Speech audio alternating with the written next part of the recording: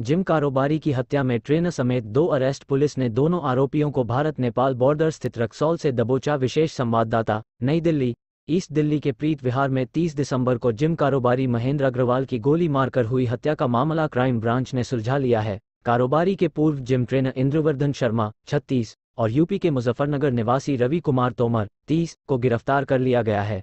इनके तीसरे साथी विजय की तलाश है। स्पेशल सीपी पुलिस ने दोनों आरोपियों को भारत नेपाल बॉर्डर स्थित रक्सोल से दबोच लिया। पुलिस पूछताछ में आरोपी इंद्रवर्धन शर्मा ने दावा किया कि कारोबारी महेंद्र अग्रवाल के यहाँ लंबी समय तक काम किया। करीब चार दशमलव सात पाँच लाख रुपये उनके बिज़नेस में इन्वेस्ट किए थे।